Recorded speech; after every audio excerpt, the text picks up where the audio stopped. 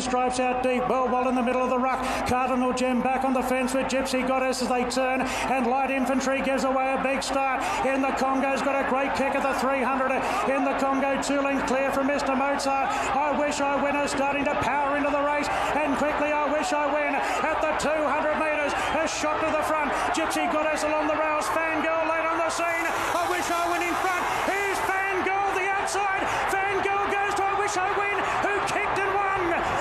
shot win just from Fangirl and Gypsy Goddess and a great finish.